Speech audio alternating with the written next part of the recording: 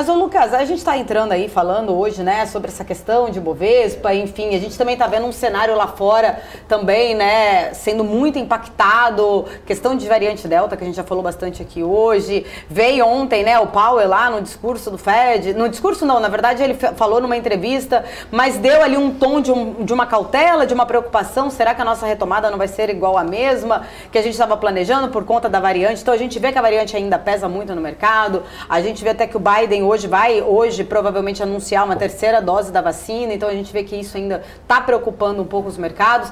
Tem a questão do Afeganistão, que também impactou muito né, os mercados globais. Hoje tem essa, a, a, a divulgação da ata do FONC, que é uma questão também que eu acho que preocupa muito ali, principalmente, será que, quando que tiram os estímulos, será que realmente esses estímulos continuam? Como que está a tua visão aí em relação ao mercado global com todas essas notícias? Bom ponto e um momento difícil. Difícil. Claro. É, como você falou, a questão da variante Delta, acho que o mercado, ele, quando a gente vê um movimento, quando a gente olha para o início do ano, quando o Biden foi eleito, uhum. aí logo no dia teve a questão da Pfizer, falando da vacina e tudo mais, acho que o mercado entrou em uma euforia. A gente viu os mercados puxando, tanto aqui quanto lá.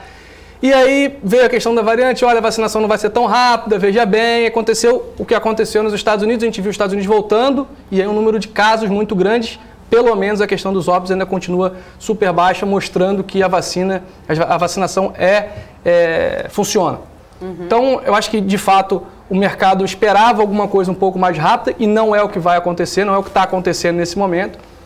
Olhando para a do Funk hoje, até brinquei no Morning Call com o Bruno Lima, falei, olha, eu acho que não vem muita coisa porque Jackson Hole está batendo na uhum, porta, então exatamente. então vamos esperar até agora ali o, o simpósio de Jackson Hole para soltar alguma coisa, para falar se vai ou não, né, a questão do tapering, se vai ser agora, se vai Sim. ser logo sendo só para o ano que vem, mas eu acho que a gente vai olhando aí, até conversando com o nosso time de macro, o cenário está um pouquinho mais complicado, digamos assim, até por conta da remoção dos estímulos lá nos Estados Unidos. Quando eu perguntei isso para o Marco de manhã, ele falou assim: na verdade são duas perguntas. O que eu acho que vem e o que eu gostaria que é viesse. É e aí, na sua opinião, o que, que você gostaria que viesse? Ah, eu gostaria que a gente deixasse o tapering só para 2022, né? Deixa, deixa as coisas acalmarem, principalmente por conta da variante Delta. Como você uhum. falou, a preocupação do Powell ali de: olha, beleza, a inflação está batendo na porta lá nos Estados Unidos, mas ao mesmo tempo talvez a recuperação econômica não esteja tão forte quanto eles acharam que estaria. Então, uhum. acho que deixa, né, deixa acalmar um pouco essa situação e aí sim